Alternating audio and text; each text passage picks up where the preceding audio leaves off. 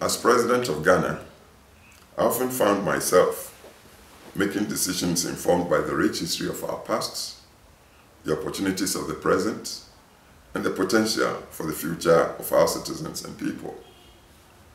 For me, decisions would come down to what will do the most good for the most people to create a stronger future to drive development, innovation, and progress. Today, as a co-chair of the Global Panel on Agriculture and Food Systems for Nutrition, I continue to consider this question, not just for Ghana, but also for the world. What is it that drives development, innovation, and progress? It is people. And what fuels people?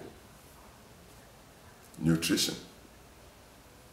We cannot grow as nations if we are not fully supporting the growth and development of our people with adequate nutrition. Yet a new report commissioned by the Global Panel shows that our food systems are failing us. Not only are they not delivering the nutrition the world needs today, but we are also faced with an unprecedented convergence of challenges around food and diet in the decades to come. If we continue on this path, the cost of malnutrition to both individual and national development will continue to impact the health and wealth of our communities and nations and will continue to hold us all back from achieving our potential. What this report also makes clear, though, is that we have the chance to change the course by taking action now.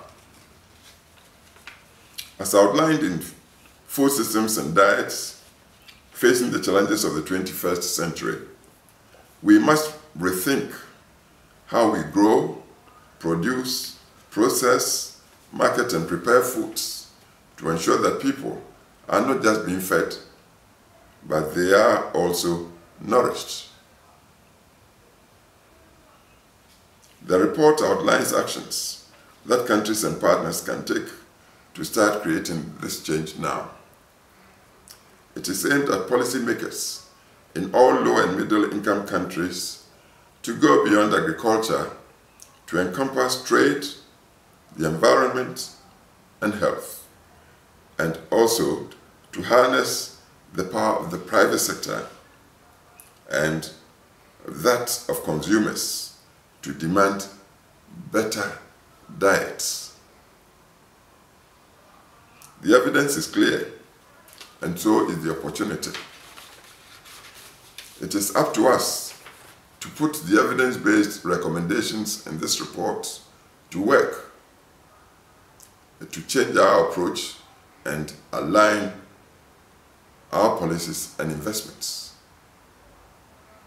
The actions we take or fail to take now will have lasting effects. So my appeal is to let us all work to implement the recommendations. Thank you.